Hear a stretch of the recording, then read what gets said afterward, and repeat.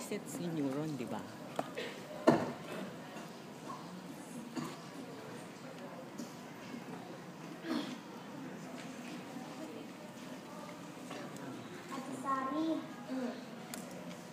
Oh, ano ano?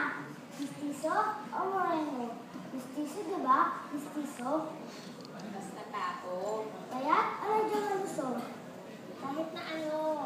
So, okay lang sa'yo kahit medyo malusog. Alam mo, basta kasing cute mo at kasing gwapo mo, oo naman. Jackpot! Kasi tulok ako eh. Cute talaga. Naku, mamon.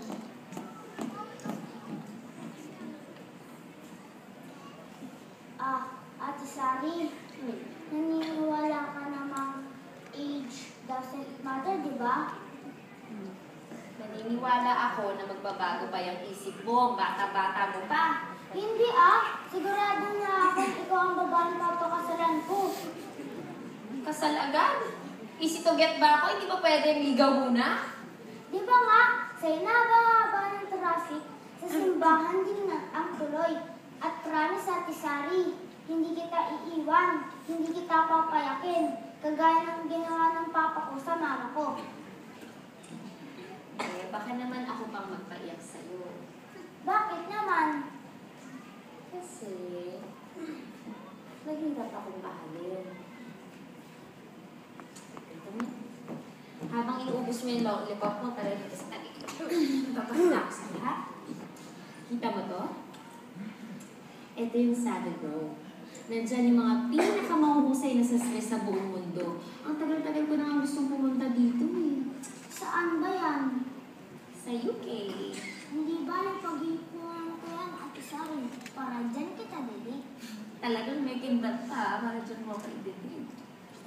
Sige na, seryoso ka ba dyan?